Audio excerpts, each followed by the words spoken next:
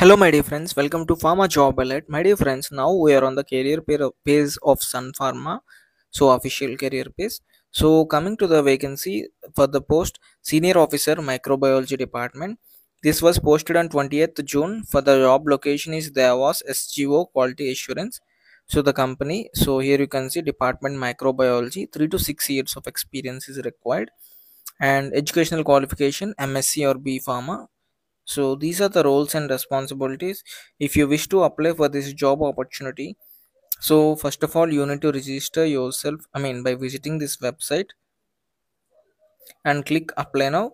Then you will be directed to another page from there you need to apply for this job opening. So location dewas sgo qa sun pharma industries. So thank you for watching.